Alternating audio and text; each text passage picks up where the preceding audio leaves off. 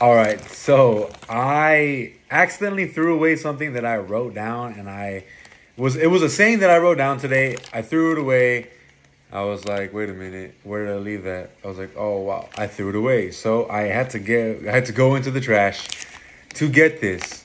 And the saying is very important, and it correlates with me, and I'll tell you why. It says, you have to dive in order to survive, and what I mean when I say diving and surviving is you're gonna get you're gonna be afraid and sometimes you're gonna be scared of doing things that you may not know what the result may be, but it all depends on the mindset that you have going into it. Now, if you have a negative mindset going into something new, something uncomfortable, an environment that you really don't know about, most likely if you're gonna get negative results.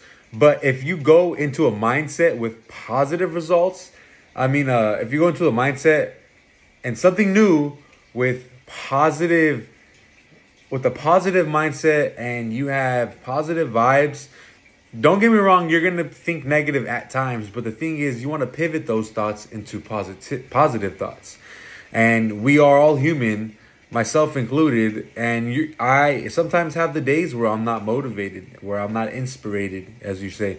If if we did things on a daily level based off of motivation you know like you go to work you're not motivated but you do it anyways right? So when you don't want to go to the gym or you don't want to better yourself and do things because you're not motivated that that's just an excuse that is not valid. And i'm going to tell you why it's not valid because you have to learn how to do things that you aren't motivated to do. You have to learn how to do things that sometimes you don't want to do, and you're going to have to do it. Why? Because that's what's going to separate you from the average, the good, and the great. And wherever you want to be on that, whatever caliber you want to put out in your life, that's the result that you're going to get in three months now, six months from now, one year from now. Those are the results that you are going to get. So, what results do you want in your life? Seriously, what results do you want in your life?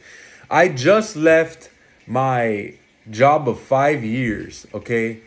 Five years I left my job. And for those still watching this video, um, a lot of people didn't know where I was working at. A lot of people didn't know what I was doing. Um, if, if you do, cool. If you don't, you don't.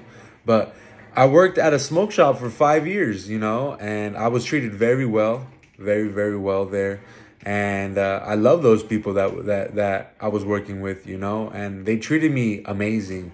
And I didn't leave because I wanted to leave in in a bad mindset. I, I you know I didn't say I hated it here, so I want to leave. That was that was none of the reasoning.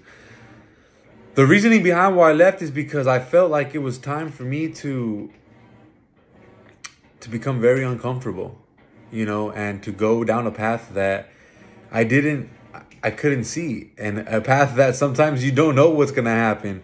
But those paths that you don't know what's gonna happen and you it's very uncomfortable, you are gonna have to have a positive mindset, and you're gonna have to go and endure that journey.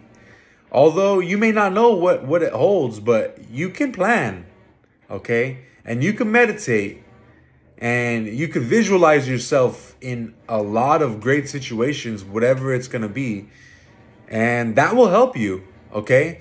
But when the times get hard and they get rough, remind yourself why you did it and why you're doing it. And you didn't get this far to only get this far.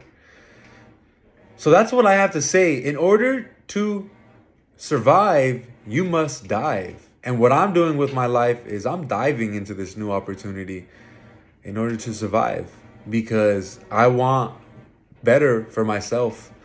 I want better for my daughter, and I want better for my future family, you know, my current family. I want more for my, the generations to come because the generations that we have been a part of now, you know, a lot of people don't know the great grandparents, the great grandfather, the great grandmother, things like that. You don't know them because there was not much of a legacy left behind. And are you going to leave a legacy behind? And are you going to be talked about among your grandchildren and four, five, six, seven different generations from now?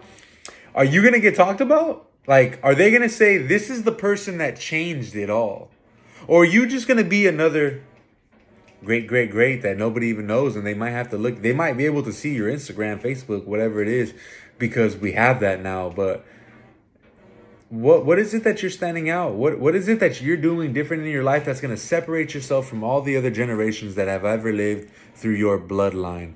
Now, are you destined for greatness or are you def- destined for average?